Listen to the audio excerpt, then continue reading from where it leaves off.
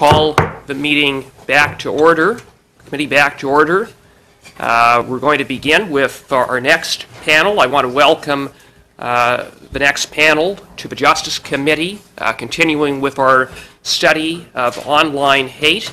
Uh, As we traditionally do, we're going to go to uh, those who are appearing via video conference first, uh, in the event that we run into technical di- difficulties. So we have one witness uh, appearing uh, uh, via video conference, namely uh, Robert Dennis, Assistant Professor from the Department of Religious Studies at the University of Prince Edward Island. Welcome, and uh, you have eight minutes.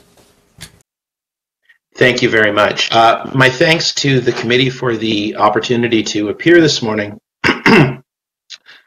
Recent events in New Zealand and Sri Lanka show how hate is not confined to the electronic world, uh, but very much that online hate can and does translate into and real world consequences, and sometimes the electronic world and the virtual world are not separate. I'm a tenured member of the Religious Studies Department at Prince Edward Island, where I teach courses on the Catholic intellectual tradition, and I have specifically a speci- specialization in Catholic social teaching. I want to talk to you for a few moments about online hate as faced by Christians, particularly Roman Catholics, and give you some sense of the discord between Catholic social teaching and the liberal.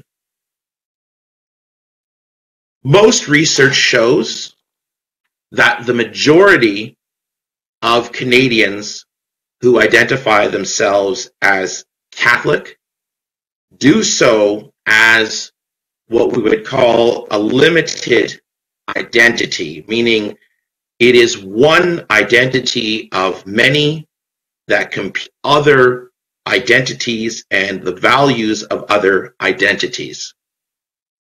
In short, the lion's share of Roman Catholics, of Canadian Catholics, are cultural Catholics. Otherwise, as secular as most other Canadians, holding libs as has been the Canadian tradition since the 1840s.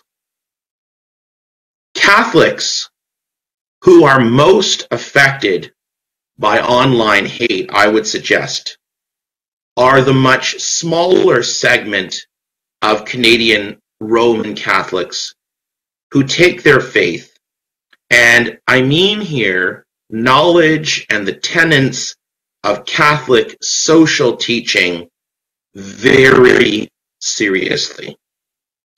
These Catholic pro-life, they tend to hold traditional understandings of marriage, of the family, of gender identity, etc. There are some people who may look upon these positions as themselves being incompatible with liberal values in Canadian society. What's overlooked in moments is that the right to conscience is a foundational value of the liberal and democratic tradition. And sometimes it's these values that come into, into conflict.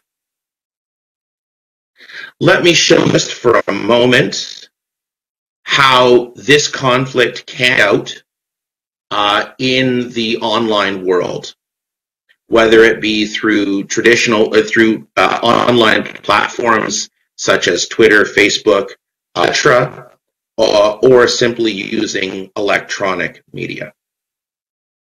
I'm going to draw an example from the US context to show how this analysis relates to Catholics experiencing online hate. In recent months, Brian Sims, a Democratic member of Pennsylvania's House of Representatives in the 182nd District, has been doxing Catholics. In many cases, these people who are elderly, who, who, who tend to be teenagers, who were quietly praying the rosary outside of Planned Parenthood clinics in Philadelphia. The representative offered cash in exchange for the identities and the coordinates of these individuals who, in the US context, are expressing their constitutionally protected right to assembly. And moreover, the representative was filming these encounters and broadcasting them live on Twitter with threats such as bring it Bible bullies, you're bigots, you're sexists, you're misogynists.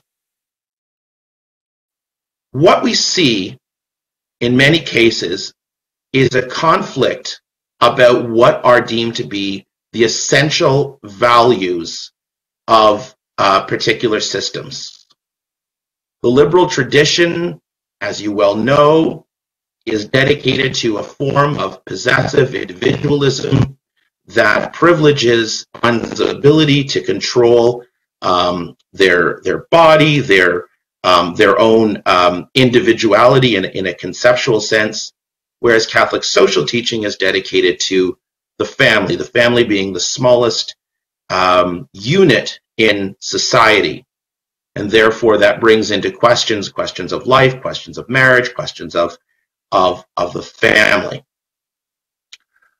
I would like to underscore that the health of a liberal democracy is uh, predicated upon the ability of people of goodwill to disagree about fundamental questions. And I submit here that questions of life are the most fun.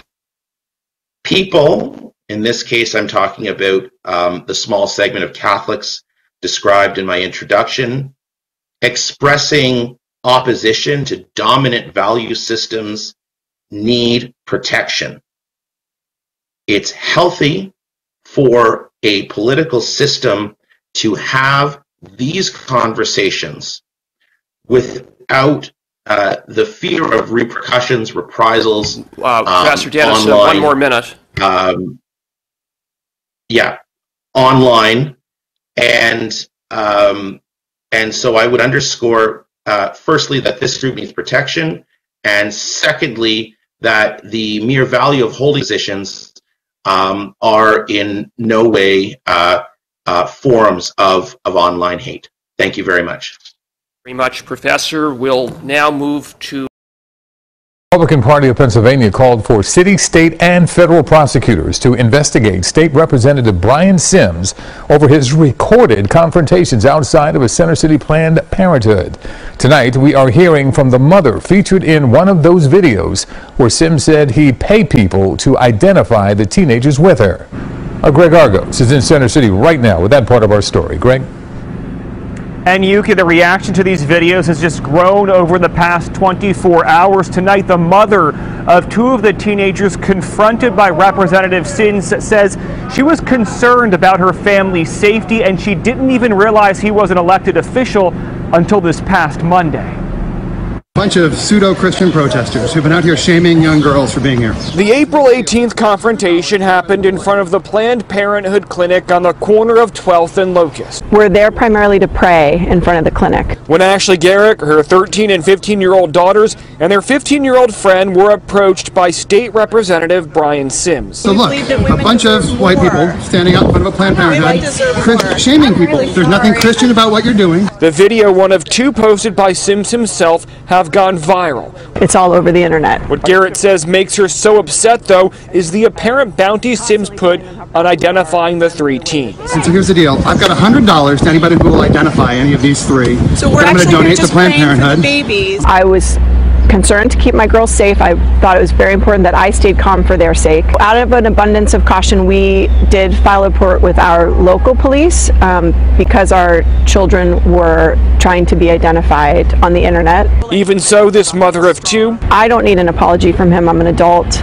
Um, I've already forgiven him. says she simply wants Sims to address his actions toward the teens and offer them a direct apology. Absent the pro life issue, this was about an adult interacting with minors in aggressive manner and an adult infringing on minors' speech. Now, for the past two days, we've tried reaching out to Sims, but he has not returned any of our messages. Yesterday, however, he did release a public video statement where he said he acted aggressively. I'm live here in Center City, Greg Argos, CBS 3.